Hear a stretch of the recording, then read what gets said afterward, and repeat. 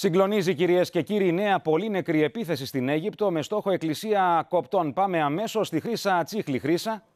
Σύμφωνα με την τελευταία ενημέρωση από το Υπουργείο Υγείας, τους 10 έχουν φτάσει οι νεκροί από την επίθεση σε εκκλησία κοπτών στο νότιο Κάιρο. Ανάμεσά τους τουλάχιστον τρεις αστυνομικοί που φρουρούσαν το χώρο, ενώ υπάρχουν και πέντε τραυματίες, δύο εξ αυτών αναφέρεται πως είναι σε σοβαρή κατάσταση.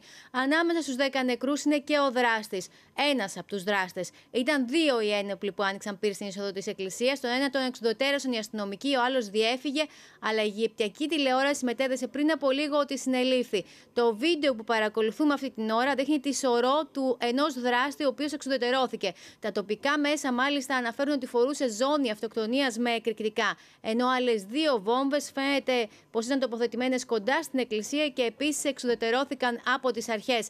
Μάρκο, κυρίες και κύριοι, είναι συχνές οι επιθέσεις Ισλαμιστών στην Αίγυπτο κατά ε, χριστιανικών εκκλησιών και ιδιαίτερα κατά των ε, εκκλησιών των κομπτών. Μάλιστα, τον, τον περασμένο Δεκέμβριο είχαμε μια τέτοια επίθεση με 28 νεκρούς. Γι' αυτό και όλας, γι' αυτό το λόγο και όλες οι αρχές έχουν λάβει έκτακτα μέτρα και υπάρχει, υπάρχουν, ε, υπάρχει αστυνομική φύλαξη στις συγκεκριμένες εκκλησίες, ιδιαίτερα στις πολύ μεγάλες εκκλησίες. Αυτό συνέβη και στη συγκεκριμένη περίπτωση. Γι' αυτό είδαμε και αστυνομικούς στην ουσία να προστατεύουν με, τους, ε, με τη ζωή τους το πίμνημο, το πίμνιο, συγγνώμη.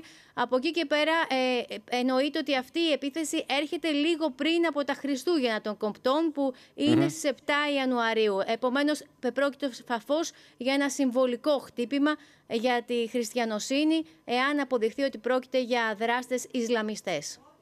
Νέα αιματοχυσία στην Αίγυπτο αυτές τις Άγιες ημέρες. Ευχαριστούμε Χρύσα προς το παρόν να περάσουμε.